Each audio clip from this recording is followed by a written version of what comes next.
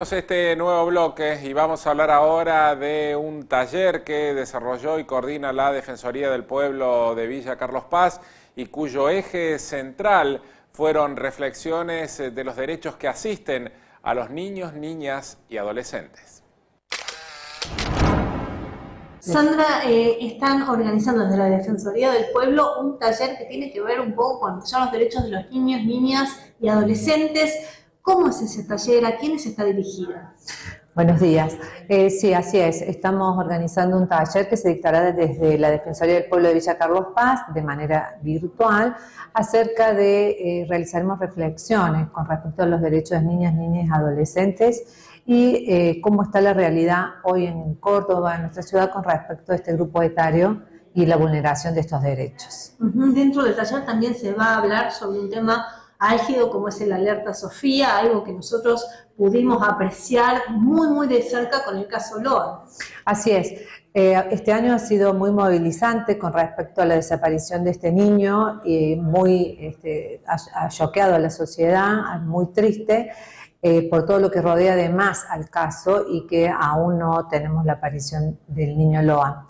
Entonces es informarnos eh, y poder este, acercar todas estas herramientas de qué leyes hay, programas hay en nuestra ciudad, en nuestro país, eh, todo lo que sean las convenciones de los niños, niñas y adolescentes en protección de estos grupos vulnerables para que eh, seamos garantes y que no tengan que pasar por estas este, tristes situaciones de vulneración de derechos. Se habló muchísimo sobre ese tema y mucha gente se preguntaba qué era el alerta Sofía, uno de los temas que el taller justamente va a tratar. Recordemos qué es el Alerta Sofía.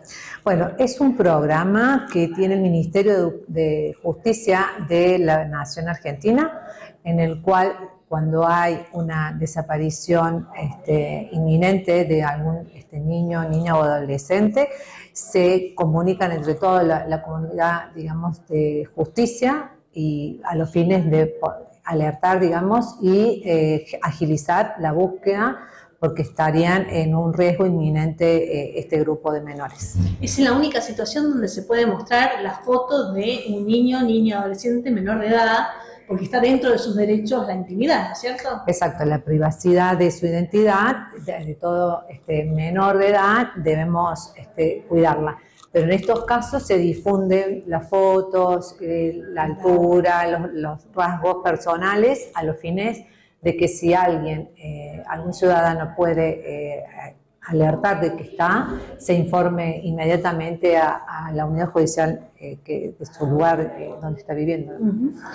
¿Este taller a quiénes está dirigido?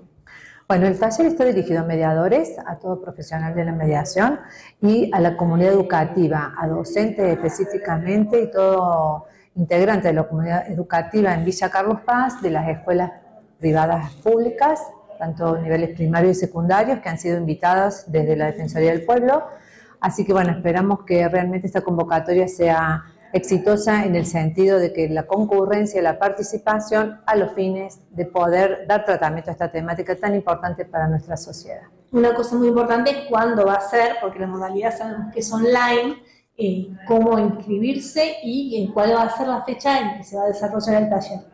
Bueno, si es virtual el dictado de este taller con expertas, eh, abogadas de niños, niñas y adolescentes que van a estar presentes eh, y será el día 16 eh, de septiembre, el próximo lunes, de 16 a 20 horas, o sea, son cuatro horas de taller y eh, se pueden inscribir por email en mediación.defensoría.bcp.gmail.com. Ahí yo les responderé y luego enviaremos el link para ingresar a la reunión. Está homologado el, taller, ¿verdad?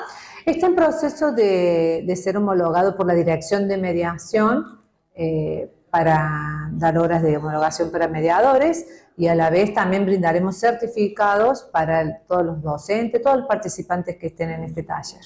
Bueno, invitamos entonces a la gente a inscribirse y participar. Así es, están todos convocados y esperamos que les interese la temática y que puedan participar del taller.